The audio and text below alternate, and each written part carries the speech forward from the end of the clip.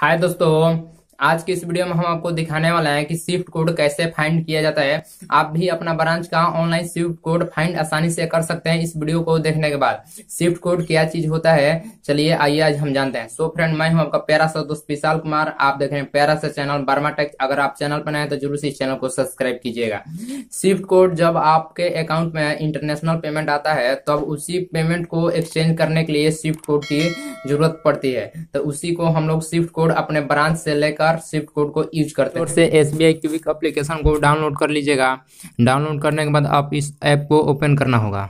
Open करने पर आपको इस तरीके का डैशबोर्ड इंटरफेस नज़र आ रहा है। तो सबसे पहले यहाँ पर एक ऑप्शन आपको दिख रहा होगा एन आर आई सर्विस तो हमें इसी वाले आइकन पर क्लिक करना होगा स्विफ्ट कोड फाइंड करने के लिए।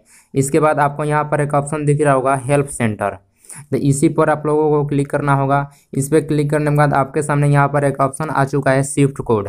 तो हमें इसी वाले आइकन पर क्लिक करना है। इस तरीके का डैशबोर्ड इंटरफेस आपके सामने नज़र आ चुका है। तो सबसे पहले यहाँ पर देखिए ब्रांच का नेम लिखा हुआ है। ये ब्रांच नेम है, ये ब्रांच कोड है यह स्विफ्ट कोड है। इसी कोड को आप लोगों को यूज़ करना है। सबसे पहले आप लोगों को फाइंड करना होगा कि आपका ब्रांच जो है स्विफ्ट कोड प्रोवाइड करता है या नहीं करता है। यहाँ अल्फ़ाबेट के अनुसार सजाया गया है। तो आप अपना ब्रांच के अनुसार भी फाइंड कर सकते हैं। यहाँ पर ब्रांच कोड है। तो आप यहाँ पर ऐसे स्क्रॉल डाउन कीजिएगा नीचे की तरफ़ से। अगर आपका ब्रांच आता है तो मान लीजिए ब्रांच का भी स्विफ्ट कोड यूज़ कर सकते हैं। केवल आपके अकाउंट में पैसा आ जाएगा पैसा चला भी जाएगा। जैसे कि देखिए यहाँ पर पटना है। ये पटना मेन सिटी का है। तो हम लोग यहाँ पर भी यूज़ करते हैं। बिहार में केवल पटना का है और गया का है। तो हम इसमें बिहार का पटना और गया दोनों में से किसी एक जगह का भी यूज़ कर सकते हैं। इसमें कोई भी प्रॉब्लम नहीं है। आपका पैसा इंटरनेशनल जो है आपके अकाउंट में आ जाएगा। नहीं तो आप बैंक ब्रांच में अधिक जानकारी के लिए भी पूछ सकते हैं। लेकिन ऐसे तो मैंने पूरा भी लिस्ट दिखा दिया, जितना भी एसबीआई का ब्रांच है सभी का स्विफ्ट कोड यहाँ पर दिया गया है। देखिए, यहाँ पर जितना भी ब्रांच है एसबीआई का, इतना ब्रांच होगा, इतना में स्विफ्ट कोड प्रोवाइड है।